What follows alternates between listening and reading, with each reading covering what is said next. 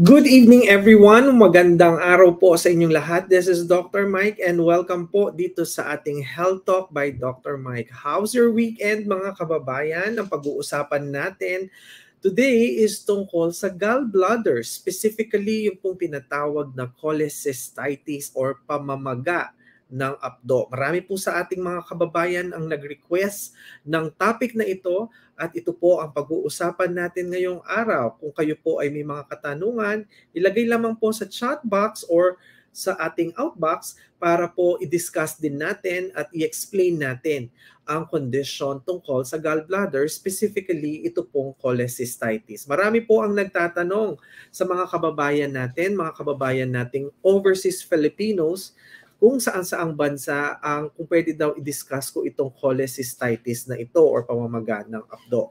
So without any further ado, let's go on dito sa ating discussion. Pag po sinabing abdo or gallbladder, alam niyo po ba kung ano ang function at kung saang lugar ang ating gallbladder? Kung tinawag naman itong cholecystitis or na-diagnose po kayo na may cholecystitis, ito po ay isang uri ng uh, inflammation or pamamaga ng abdo. So therefore, what is cholecystitis? Marami sa ating mga kababayan, Dok, pareho ba ang uh, yung tinatawag na cholelithiasis sa cholecystitis? So, pareho pong organ yon, pareho pong gallbladder yon, pero po yung cholecystitis is specifically, okay, problema sa ating gallbladder, yung isa naman po bato sa ating gallbladder. But before tayo mag-move forward sa ating discussion, kailangan po muna nating alamin. Uh, sinasabi po natin ito ay pamamaga ng apdo. Kung makikita nyo po sa screen ninyo, yan po ang itsura ng gallbladder natin. Ang gallbladder po natin ay naka lugar or nakalocate po yan sa inferior side, sa bandang likuran po bandang ibaba ng ating atay, particularly po sa right lobe ng ating uh, liver. Okay, kasi po ang liver natin may right side at meron pong uh, left lobe. Ito po yung maliit na part. Okay, nandoon po siya sa bandang ibaba, sa bandang likuran. Is a small pouch-like organ in the upper right part ng ating tummy.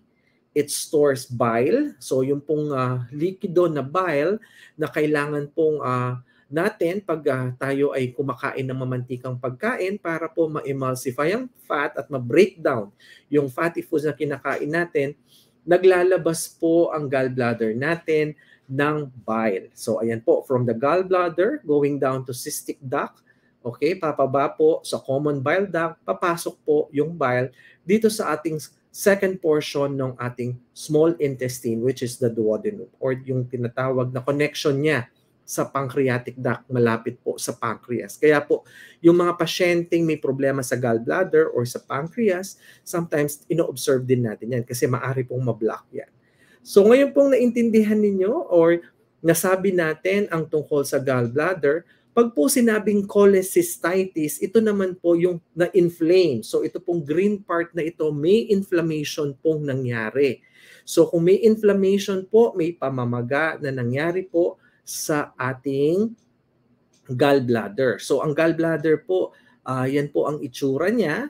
Kung uh, nagkaroon po ng inflammation siya o pamamaga, isipin po natin saan nagmumula yung pamamaga ng gallbladder natin.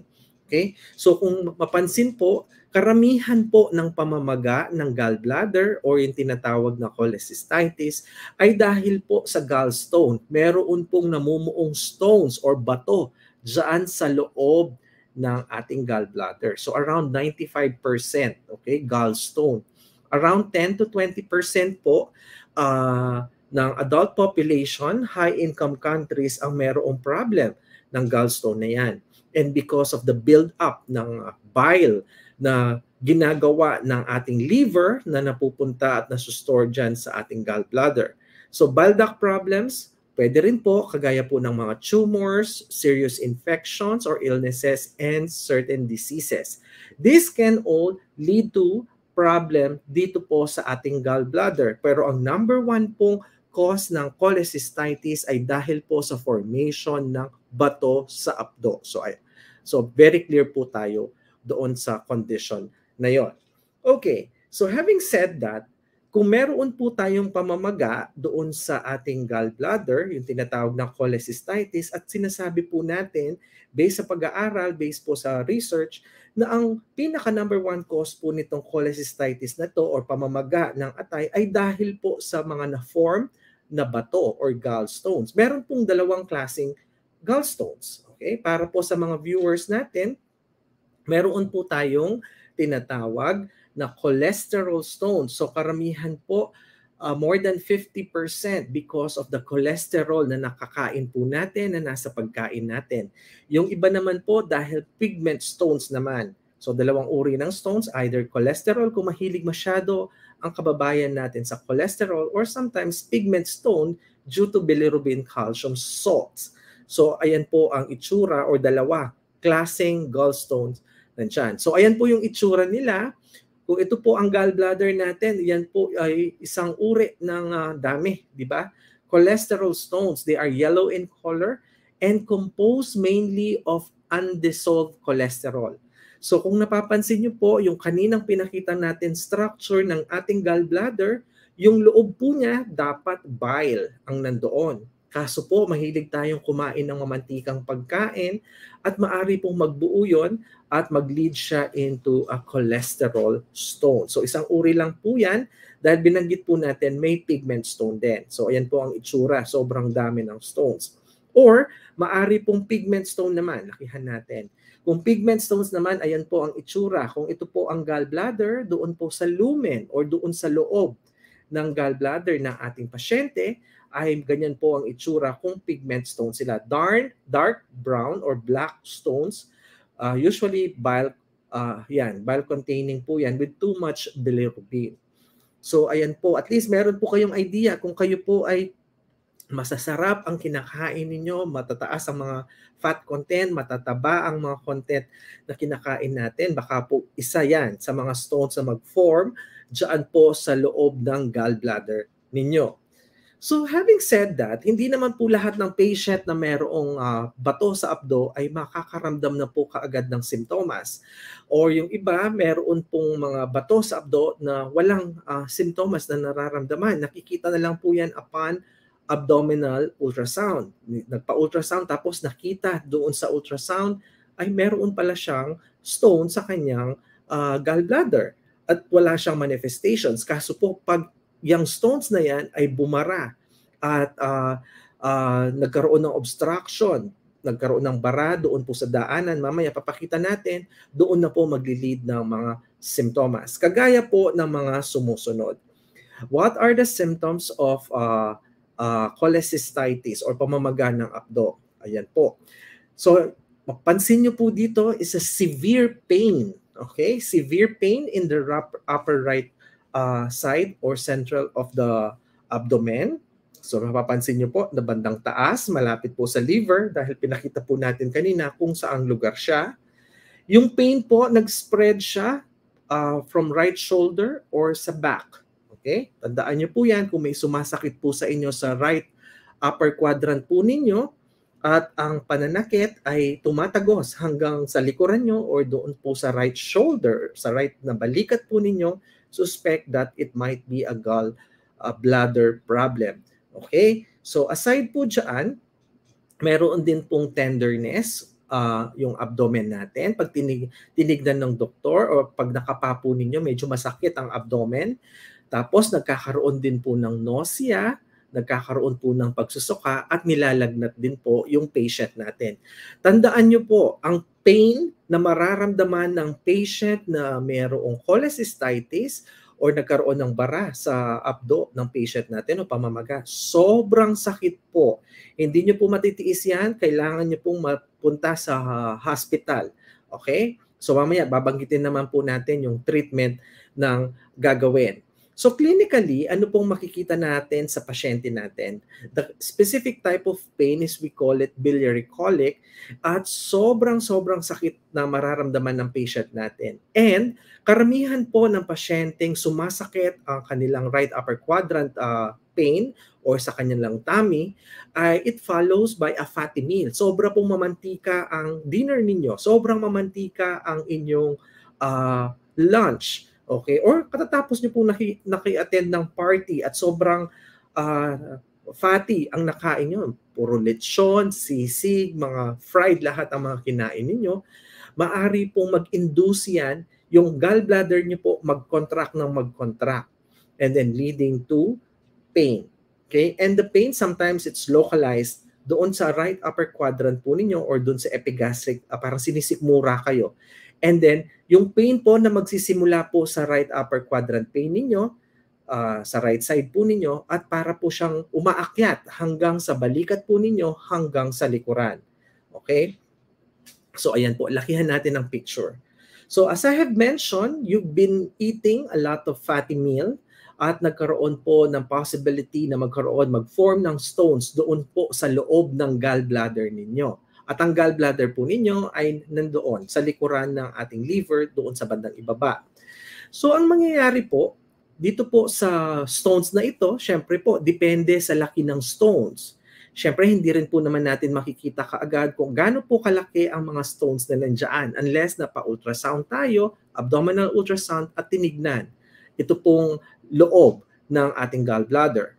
Ngayon, kung ang uh, stones ay medyo malalaki, less likely po na mapumasok siya dito sa ating cystic duct, okay, or the common bile duct pababa para po mag-produce ng obstruction. However, kung ang mga stones na nakita natin ay maliliit na stones, okay, yan po ang mas nakakatakot dahil po dahil sa liit nila maari pong magbara dito po sa flow ng bile mula sa cystic duct, okay? Kasi po makipot ang daanan na yan, okay? Hanggang pababa sa common bile duct, hanggang pwede pong magbara dito sa may ampulla. Okay? Ito pong opening dito papasok sa ating bituka, sa second part ng ating bituka ng small intestine at doon po magkaroon ng obstruction. So tendency magkakaroon po ng problema sa pancreas din kasi po ang pancreas nandito sa side na ito. Ito po. Okay? So kaya po, pag merong problema sa gallbladder, tinitignan din po ang pancreas. Or kung ang problema ay sa pancreas, tinitignan din po ang gallbladder at saka po yung liver. Kasi connected po ang mga structures na yan sa ating GI tract. So tandaan nyo po, dito sa part na ito, kung meron pong, as I have mentioned po kanina, may mga pasyente po na may mga stones, sa kanilang uh, gallbladder, asymptomatic, wala pong simptomas na nararamdaman at malalaki yung mga bato okay, na nandiyan sa gallbladder. Kung ito po ay maliliit at nakita na maaring ito ay mag-cause ng obstruction, usually po may ginagawang treatment na dyan. Hindi na po natin hinihintay minsan. Okay, unless otherwise medyo malaki ito na hindi po siya magpa-pass out dyan. So depende rin po sa laki o sa liit ng mga stones na nandiyan po sa loob ng gallbladder at kung saang lugar uh, yung mga stones. Kagaya po na nakikita nyo sa picture na mayroong pong maliliit na stones at maari po silang sumama uh, sa flow ng bile at magbara dito po sa daanan mula sa cystic duct okay, dito sa taas at mula papunta dito sa common bile duct papasok sa small intestine ng ating pasyente. Okay, moving on. What are the risk factors? O yan. Ito po mga risk factors na ito, ito po yung nagbibigay ng kung mataas ang tsansa natin magkaroon ng cholecystitis because we don't want. Karamihan po ng mga Pilipino masasarap ang diet. Mahilig sa mamantika. Papasok na po ang uh, Christmas, bare months na tayo. So ayan na naman, puro mga handaan, puro parties na naman. Lagi natin nakakalimutan yung paalala, watch out sa ating diet. Eat and drink in moderation po lagi. Kaso minsan nakakalimutan po natin yon. Pag nagkaroon na tayo ng sakit, doon na tayo magsisisi. Doon na po tayo magbabagong bigla ng lifestyle. Pag wala tayong nararamdaman, sige, go on lang tayo, di ba? Kaso pag may nararamdaman na tayo, o yun, magtataka na tayo, ano na nangyayari sa system natin. Okay, in terms of the risk factors, kababayan, Uh, number one, in terms of age and uh, yung sa gender po, it increases throughout life. But ito po ay predominantly common and affect individuals ng middle to older age. Yan, sa mga bandang 40 years old and above. So marami po sa mga viewers natin ang affected dito. Kagaya rin po, mataas ang tsansa kung kayo po ay mga kababaihan. So mga female viewers, watch out for this uh, case uh, ng cholecystitis. Hindi lang po ito pang babae, pero din po sa mga lalaki. Kaso nga lang po, mataas ang risk ng mga kababaihan. Significant association also doon po sa may mga problem sa kalakihan, kagaya po ng metabolic syndrome or obesity. In short, yung po mga overweight sa atin, masasarap kumain, masasarap ang kinakaing pagkain, so at risk po tayo dyan, lalo na kung masyadong mamantika ang kinakain po natin. Okay, For environmental factors naman, kasama din po yung estrogen exposure. Kung kayo po ay gumamit or gumagamit sa kasalukuyan ng mga oral contraceptives, okay, at kung kayo po ay buntis, may risk din po dyan. Increases the expression of the hepatic lipoprotein receptors which will stimulate yung hepatic HMG-CoA reductase activity. So factor din po yan. And as I have mentioned po kanina, yung obesity o medyo kalakihan tayo kung tayo po ay may 30 uh, kilograms per meter square na BMI, uh, at risk din po tayo. At saka po yung mga kababayan natin na mabilis magpapayat, yung rapid weight loss, yung ang dami pong iniinom na gamot or uh, within a month or within three months, gusto bagsak po kaagad ang katawan dahil po isang uh, cause or yung risk tumataas po kung kayo po ay uh, mabilis magbawas ng timbang sa mga nagda-diet na pasyente. So you need to have uh, losing weight uh, very, very slowly because we don't want na ito po ang maging uh, side effect ng pagpapakapa, pagpapapayat po ninyo. Okay? Aside from that, meron din pong acquired disorder, kagaya po ng may mga abnormality sa gallbladder, okay, or hereditary factors, kagaya po ng mga genes dyan sa ating katawan natin, kagaya sa liver, okay, and so on. Question now is how can cholecystitis be prevented? Mapiprevent po ba natin ito? Mapiprevent po ba natin na hindi tayo magkaroon or kung meron tayong hindi lumala or hindi na tayo maoperahan? kung nandiyan ng mga gallstones, kung wala naman pong simptomas na nararamdaman at hindi nagkakos ng fever, hindi nagkakos ng jaundice, nandyan lang siya, pabayaan lang natin dyan, observe lang. Okay? Unless otherwise ito po ay uh, mag-lead into some problems or bumara dyan po sa daluyan ng bile. How to prevent? Number one, don't skip meals because skipping meals or fasting, yung pong mga nagfa-fast sa inyo tapos hindi naman po alam kung paano yung fasting na dapat gawin, can increase the risk of gallstone. Sabi natin kanina, yung pong uh, pagpapapayat, okay, isa pong factor yan. Ngayon po kung uh, kayo po ay nag-skip ng meals madalas, hindi ko kayo kumakain on, on time, okay, it might lead to this problem. So i-consider po natin yan. So, eat po tayo small frequent feedings. Huwag po tayo magfa-fast. Okay? Ito, yung losing weight very slowly because rapid weight loss can increase the risk of gallstone. Because gallstone, yun po ang pangunahing dahilan bakit po nagkakaroon ng cholecystitis or pamamaga ng ating gallbladder. Next one, we need to have uh, the options of eating healthy. Okay? Lagi naman pong sinasabi yan, but again, it would be very difficult po na uh, sa ibang mga kababayan na to eat more fiber foods, fruits, vegetables, and whole grains because minsan hindi po natin nakasanayan or sometimes we don't want to eat this uh, products or food uh, mga produce, di po ba? So ngayon, medyo sayanayan po natin ang sarili natin sa mga pagkain na yan. Okay. And maintain a healthy weight because obesity and overweight, yung po may mga kalakihan sa atin, this would lead to increased risk of gallstone. We need to work and achieve a healthy weight by reducing the number of calories na kinakain po natin and increasing the amount of physical activity na pwede po natin gawin. We do exercise sana, uh, lakad, brisk walking, we do swimming, biking, kung ano po ang exercise na pwede po sa inyo. Because exercise, uh, dagdagan pa natin sa food natin yan, a healthy lifestyle, healthy living, plus exercise and moderate eating, uh, it would help a lot. Hindi lang po sa gallbladder, hindi lamang po sa uh, problema sa cholecystitis, but also yung pong three factors na binabanggit natin on how to prevent, sasama din po yung fatty liver. Okay? At syempre, yung pong organs na nandiyan, as I have mentioned, nandiyan po ang pancreas o yung uh, lapay, nandiyan po yung gallbladder or abdo at saka po yung atay natin or liver. So yan po kasi interconnected. Siyempre, nandiyan din ang stomach, pero kung kailangan po natin uh, gawing healthy, uh, itong mga organs na to because ito pong mga organs na to napaka-importante sa katawan natin at dapat healthy sila, bawal silang magkasakit, di ba? Because kung ma-alter ang function nila, kagaya po ng gallbladder na pinag-uusapan natin ngayon, ayan, magli-lead po into another problem. Yung another, yung problem sa gallbladder, maaring maapektuhan yung ating uh, pancreas, maaring maapektuhan din yung liver and so on. Lalo na po kung papabayaan natin. Okay, In terms of treatment, mga viewers, ano ba ang treatment dito? So pakinggan nyo pong mabuti ang treatment natin because for cholecystitis, ang treatment po dito dahil in pain na in pain ang patient natin, dalawa pong klase yan. Either medical treatment or surgical treatment.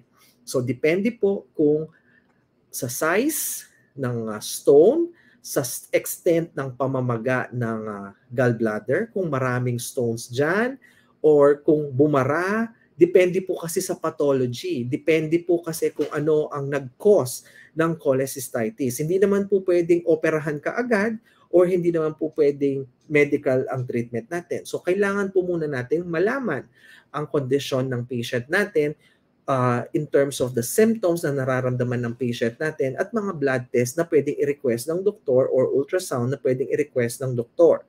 Okay, in terms of medical, dahil po in pain na in pain ang patient natin, it would require hospital admission. So pag nagstay po sa hospital ang patient natin, kasi po ang kailangan gawin kung namamaga, we need to control the inflammation doon po sa abdo. So pipigilan po ang pamamaga. Siyempre kung nasa bahay ka, hindi nyo naman po magagawa na pipigilan yung pamamaga ng uh, gallbladder. So definitely you would be admitted sa hospital. Okay? And pag nasa hospital po kayo, you are not allowed, you may not be allowed to eat or drink in the first few hours or minsan overnight. Di kayo papakainin. Because po, para po ma-relieve yung inflamed gallbladder. Kasi po, pag kumakain tayo, yung mga organs, nagsisecrete ng mga enzymes yan, nagsisecrete po ng mga juices yan, and so on. Eh syempre, kung kakain ka, o di mas-stimulate po sila para hindi mo si para hindi sila ma-stimulate huwag munang kumain. Yun po yung ginagawa sa hospital. Same din po sa pancreatitis. Pinapahinga muna para ma-relieve yung pancreatitis so, sa trabaho niya, sa work niya, or sa stress na naidulot natin. Similar sa gallbladder, and so on. So, sasabihin ng doctor po sa inyo, i-order, oh, NPO muna yan. Hindi muna siya kakain ang patient natin for ilang hours. Depende po sa observation ng doktor. Depende rin po sa inflamed gallbladder or sa pamamaga ng abdo. Siyempre matatakot ang patient natin, ah, hindi ako kakain, magugutom po ako, etc. Hindi po, dahil po kailangan nyo ng fluids. Yung pong fluids na yun, yun yung swero. Isuswero po kayo sa hospital para po yung electrolytes ninyo and nutrients would be papasok sa ating ugat. So, huwag kayo pumula, uh, mawala ng pag-asa. Kahit po hindi kayo kumakain, may mga energy naman na nasusustain at mga electrolytes dahil po nasa swero kayo. Okay? O syempre, kung nasa bahay po, hindi naman natin magagawa lahat yan. And then, magbibigay po ng antibiotics ang doktor din kung meron pong infection na nagkukos ng pamamaga ng abdo. So again, para po mawala yung stress ng uh, liver, or yung uh, gallbladder natin or yung pancreas natin, sama-sama po yan. So wag munang kakain yung patient natin. Okay? Nothing per orem muna. Bibigyan ng swero, magbibigay ng antibiotic. Yung antibiotic po, maari pong padaan sa swero yan. Magbibigay din po ng pain medication. And if in case, bababa po yung uh, nararamdaman ng patient, hindi po sasakit yan, mawawala po yung pain, etc. etc.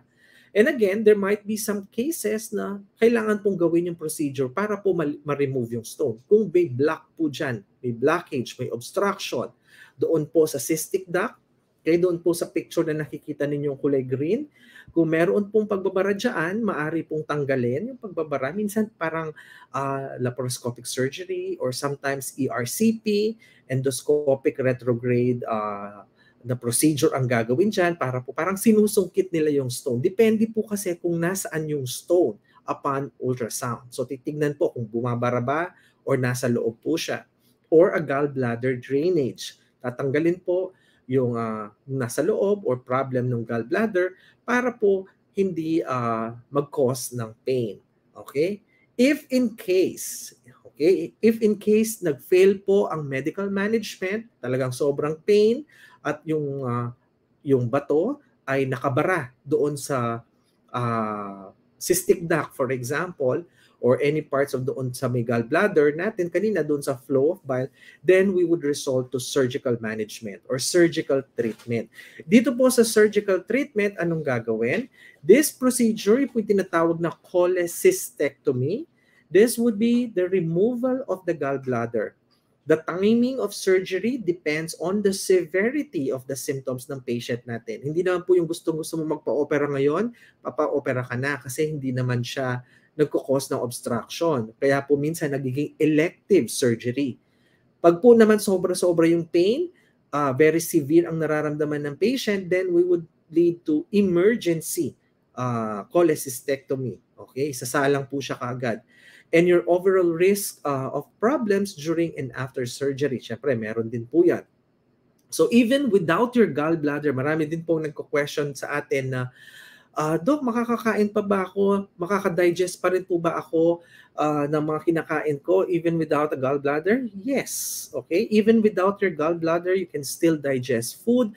Ang mangyayari lang yung bile, okay, na ilalabas ng uh, manufacture ng liver, diretso ka agad doon sa second part ng ating duodenum or doon sa ating bituka. So, uh, iba-bypass po niya kasi wala na po yung gallbladder natin.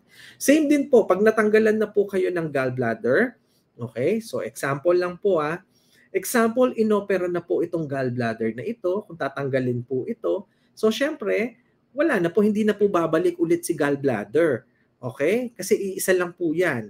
So pag tinanggal ang buong gallbladder, so automatic, hindi na po babalik si gallbladder. Kung ang stone naman ang tinanggal, like for example, meron pong stone na nandito sa loob o bumara dito, maaring yung stone lang po ang tatanggalin, pero yung buong gallbladder nandoon pa rin. Or maaring sinungkit nila or dinrain nila at tinanggal po yung laman, ay uh, baka yun lang pong laman niya ang tinanggal. Not necessarily tinanggal buo yung gallbladder ng ating patient. So that's why it's important po kung kayo po ay naoperahan, maooperahan ng inyong mga surgeon, please ask them. Wala naman pong masamang mag-ask. Okay? At tignan niyo po yung procedure na gagawin sa inyo. Kung ang procedure po is cholecystectomy, removal of the gallbladder. So ibig sabihin, tinanggal ang gallbladder. Kaya po yung mga nagtatanong sa atin kung babalik pa si gallbladder, hindi na po babalik si gallbladder. Unless otherwise, ang kinuha lang po sa inyo yung stone or minsan may mga iniinom na nadidissolve yung mga stones, pwede po yon Kaso nga lang po, kung malaki siya, na-dissolve siya or nag, minsan yung shockwave na ginagawa, magiging fragments yung uh, stone na nandiyan sa gallbladder. At binanggit natin kanina, kung malaki siya, less likely na nagkukos siya ng obstruction. Pero kung sinackwave mo siya, nag-fragment siya, nag, uh, maliliit na stones, dahil po parang pinasabog siya, uh, liliit po yung mga stones. Pag maliit ang stones, mas mapanganib na magkaroon ng obstruction doon sa ating gallbladder. Okay? So, I hope sana nag-enjoy po kayo sa ating discussion tonight tungkol sa cholecystitis, uh, tungkol sa pamamaga ng apdo. Sana po yung mga viewers natin, kung may mga kakilala kayo, may mga kamag-anak kayo, please do share this episode. Uh, you can also like this one or kung may mga comments kayo, please do uh, put your comments. Uh, and also, I'm inviting all the viewers na live po tayo sa ating uh, platforms, both YouTube and uh, uh, Facebook. Dito po sa YouTube natin, live tayo every Wednesday, Friday, and Sunday uh, ah, 9.30 po ng gabi, Philippine time or Hong Kong time. Yung po mga bago dito, don't forget to follow us ha. And then, live din tayo minsan uh, or sometimes may mga discussion tayo sa ating Facebook page, Health Talk by Dr. Mike. Diyan naman tayo every Tuesday, Thursday, and Saturday. We entertain different kinds of questions. Yung nagbe-message sa atin, sa ating Facebook page. So namimili tayo ng mga questions doon and then we keep on answering the questions. So ayan, so I'm inviting also yung mga viewers natin na mag-join sa ating Facebook page, lalo na kung may mga nararamdaman kayo at gusto nyo uh, i-discuss natin yan. Siyempre, hindi naman natin binabanggit yung mga pangalan ng mga uh, viewers natin. Please send lang po sa mismong uh, inbox natin para mabasa natin at hindi po dito sa ano. Unless otherwise, gusto niyo po dito sa uh, chat box natin. So, uh, Ayan, si Miss Linda. Miss Linda, may question si Miss Linda Tava. Sabi niya, ano po ang magandang pagkain para sa wala ng gallbladder, doc? So as, as I advise po doon sa mga kababayan natin na nawalan na ng gallbladder or tinanggal na ang gallbladder o yung tinatawag na cholecystectomy, ay bawas-bawasan po yung pagkain natin ng mataba. Dahil po yung pag-emulsify ng fat, hindi na po kagaya ng dati. Okay? Dahil wala na yung store wala na yung nag-store, wala na yung storage capacity ng gallbladder, so hindi na po ganun kagaya po ng dati.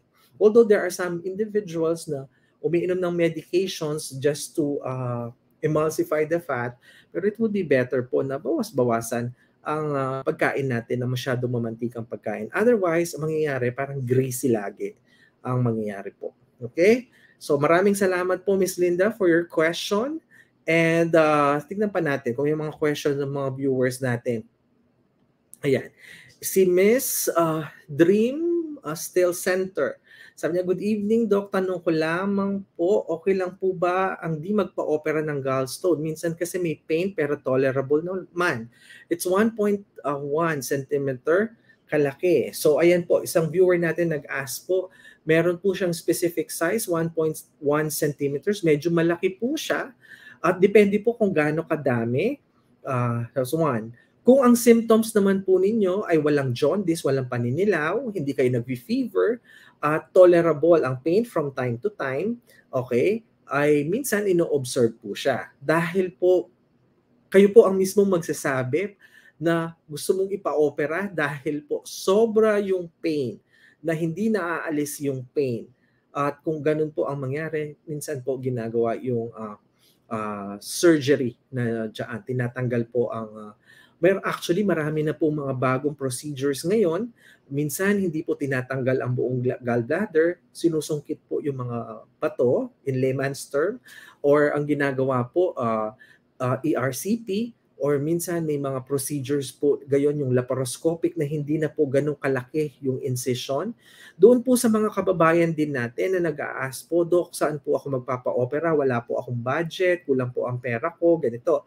Lalo na sa mga kababayan po natin, kung uh, nasa Pilipinas po kayo, you can visit po yung uh, mga provincial or regional hospital uh, na malapit po sa inyo and then uh, you could go to the surgery department or sa Department of Medicine para po uh, mabigyan kayo ng uh, tamang uh, gabay. Kasi kukunin po yung history ninyo, kukunin din po yung uh, uh, physical exam kayo.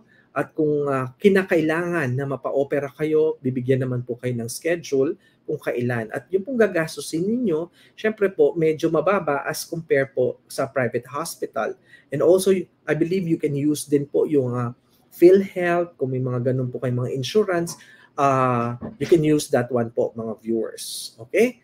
So with that po, maraming maraming salamat po sa inyong lahat. Ay, may mga question pa pala. May isa pang question dito. Sige, tapusin natin itong question naman ito.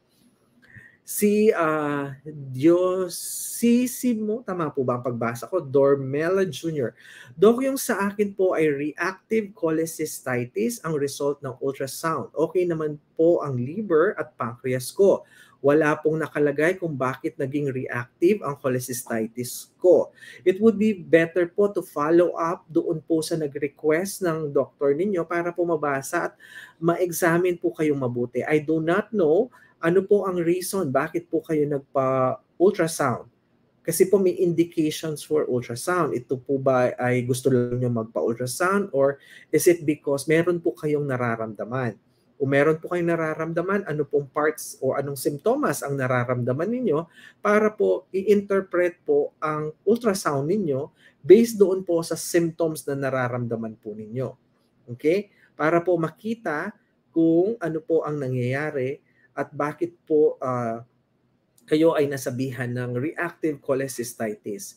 Sabi ko po kanina, around 80 to 90% na merong cholecystitis ay meron pong gallstones. So meron pang specific percentage na uh, hindi lang po gallstones, meron pang ibang conditions that would lead to cholecystitis. At po, pag sinabi pong pamamaga ng uh, ng abdo o yung uh, cholecystitis, meron po kasing acute cholecystitis at minsan may chronic cholecystitis, lalo na po kung uh, matagal nyo nang nararamdaman at paulit-ulit nyo pong nararamdaman yan. Again, uh, sa ating pong uh, uh, nag, nag-question, uh, it would also import, important din po yung uh, diet po ninyo, yung lifestyle ninyo. Okay? Kasi po kahit po uh, nasabihan tayo ng doktor o uminom ka ng gamot na ito, observation ganito, pero kung hindi po nagbabago ang lifestyle natin, it would just be the same. Dumadagdag po ng dumadagdag yung uh, nangyayaring problema sa ating gallbladder at eventually, pag po masyado ng marami ang problema dyan, ay mag-ari po mag-cause ng obstruction or madamay po yung ibang organs. Tama po na nagpa-ultrasound kayo kaagad pero hindi lang po natin clear kung bakit po kayo nagpa-ultrasound. Ano po ang reason, ano po ang simptomas, bakit po kayo nagpa-ultrasound. Okay, salamat po sa question. And then, sige, isa pa, isa pang question natin. Ah, ito. Si Mar, digdigan, ganyan yung gallstone ko, nasa cystic duct pero natanggal na through ERCP. O yan, na ERCP ang patient natin. Okay? So again po, sa lahat po ng mga questions ninyo, maraming salamat sa lahat po ng viewers natin na nanonood sa iba't ibang parts ng mundo. Thank you so much po sa inyong lahat sa patuloy niyong pagsama sa ating mga live episode. Kung may mga suggestions po kayo, please let us know. Mag-message lang po kayo sa atin uh, either sa YouTube natin or sa Facebook natin. Kung may mga questions po akong hindi nasagot, Pasensya po, pwede nyo pong ilagay sa ating chat box sa ating YouTube para po iisa-isahin natin yan sa sagutin. Okay? So with that, maraming salamat po. Have a great day everyone. Magkita-kita po tayo muli sa susunod na live episode natin. Have a great evening. Bye-bye.